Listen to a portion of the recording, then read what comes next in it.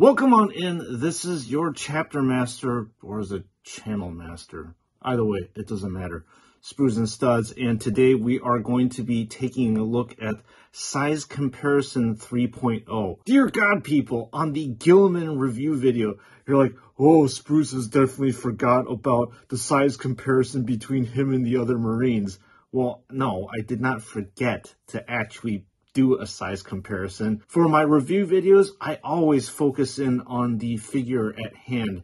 And obviously, if there is a similarity between two figures, I will actually compare the two figures together, such as the Bears Revenge Emperor's Champion versus the generic Emperor's Champion, for example. And that being said, I always feature size comparison videos as a separate video from my review videos. So you guys are now getting what you want. Now, just to begin, just to temper all your expectations, I'm not going to be doing a size comparison between all the action figures that have ever been released by Joy Toy or McFarlane or Bandai. Today, we are going to be focusing specifically on the units of the Imperium. And again, I'm not going to be going through every single one of those units of the Imperium. So without further ado, let's jump right on in. All right, folks, we will be starting off this review of the size comparison between the forces of the Imperium with a regular human being. But you really can't call this a regular human being because she is battle hardened, she is faithful, and she is powerful. So we shall now put in the sister of battle right here in front of the camera and she comes in at a quote unquote diminutive four inches in size. And now next to her, we shall deploy the next regular human being. Well, you can't call him a regular human being because he is special forces. He is badass. He is a specialized trained killing machine. So next, we shall put the Tempestus Scion next to the Sister of Battle. And he comes in at a height of four and one eighth inches. Now, folks, is the moment that we've been waiting for. The new transhumans of the whole entire Imperial lineup, the Emperor's finest, a Raven Guard Primaris Space Marine, will now be put next to his regular human brethren. So this Raven Guard comes in at four and five eighths inches. So he stands quite a little bit taller than his regular human beings. However, we have yet another Primaris figure that we need to reveal, and that is the Primaris aggressor that is in Gravis armor. And from foot to the top of the helmet and not the aggressor hood, this guy stands in at four and three quarters inches. And now moving on from the regular power suited Space Marine armor, we will move on to the Aegis pattern Terminator, aka the Grey Knights. And this lovely Grey Knight stands in at 5 and 1 8 inches. And who can forget about the Indomitus pattern Terminator, which happens to be my favorite Terminator pattern. And the example of that is going to be your Blood Angels Assault Terminator. And this particular bad boy is not exactly that much higher compared to the Aegis pattern, but there is a size difference in that this Indomitus pattern stands it at five and one quarter inches. And now we're going to zoom even further out because we're going to have to include the Emperor's finest, finest, finest. And now I shall bring you the Adeptus Custodes Allarus Terminator. And he stands in at five and a half inches tall. And speaking of Emperor's gene seed, this particular quote unquote generic transhuman is the tallest one of all of these action figures. And who am I talking about? The biggest blueberry of them all,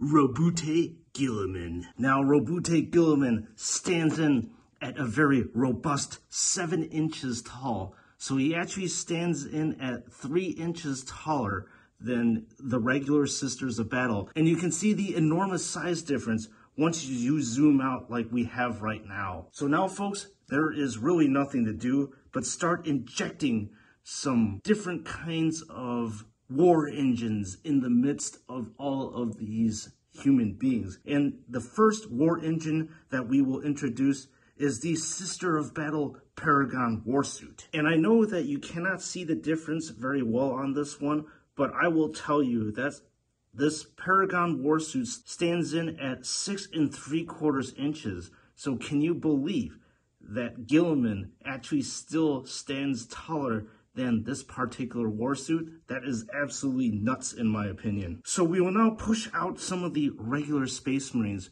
so we can start putting in some more massive engines of war, starting off with the Furioso Dreadnought. So the Furioso Dreadnought from the bottom of the feet all the way to the top of the armor, I am not including the smoke launchers, stands in at 7 and 3 eighths inches. So stands about 3 eighths of an inch taller than Guilliman. But if you look at it, they almost seem like they are the same size, which is absolutely insane. Once again, how tall Guilliman is. Next, we will move on to the Primaris version of the Dreadnought, which happens to be the Redemptor Dreadnought. And this thing will tower over every single one of these action figures hands down. And this Redemptor Dreadnought stands in at a whopping 11 inches, which is completely massive compared to all the rest of the action figures that are displayed here. And the only other action figure that matches the size of the Redemptor Dreadnought is actually the Invictor Tactical Warsuit. And the Invictor Tactical Warsuit stands in at the same height as the Redemptor Dreadnought, which is 11 inches. So I will actually now compare the shortest member of the Imperium to the largest member of the Imperium so that you can get a better size and scale of what's going on over here. So here, standing at barely above knee level, is the Sister of Battle, which happens to be the shortest one at 4 inches tall, compared to the Redemptor Dreadnought, which is 11 inches tall. So you can see the vast size and scale difference between all the various units of the Imperium. And this is the quick size comparison between the Sister of Battle as well as Guilliman.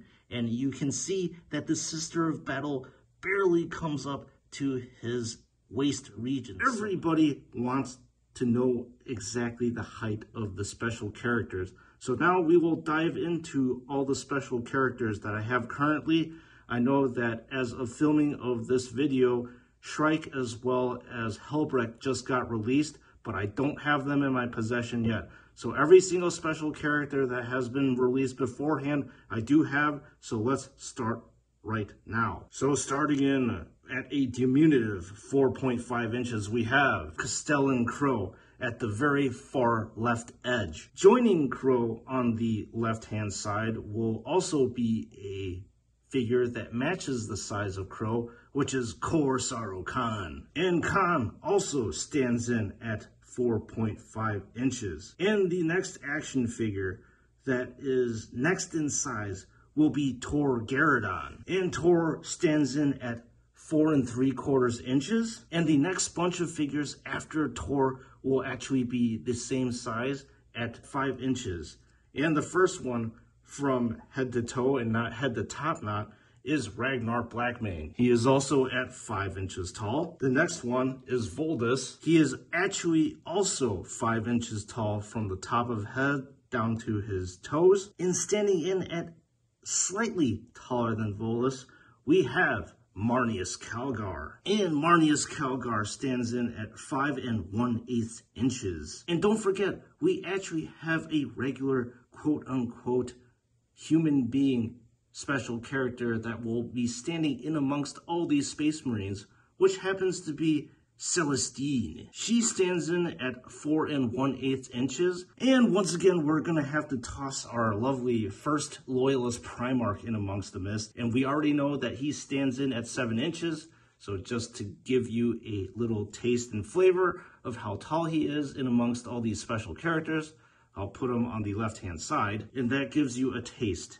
And finally, the tallest one of them all, which happens to be Bjorn the Fell-Handed, stands in at the same height as the Furioso Dreadnought, which is 7 and 3 eighths inches. And there we go, we have the complete size comparison of all the special characters of the Imperium. So now let's wrap this one up. So what did you all think about the size comparison 3.0 video?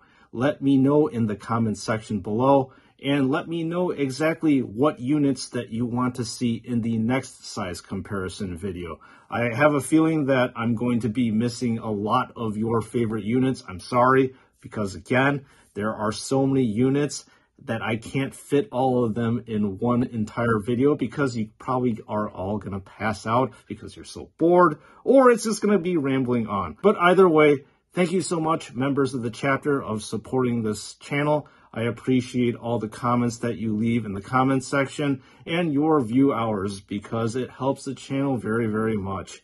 And for all those people who are unsubscribed, if these comparison type videos are your thing. And if you want in-depth action figure reviews and look no further, hit that subscribe button. This is the channel and the definite place to be at. So once again, thank you for your viewership. I appreciate you all and I'll see you all in the next one.